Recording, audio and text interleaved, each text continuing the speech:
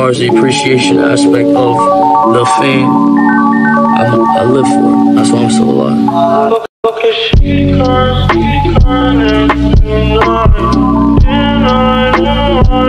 alive.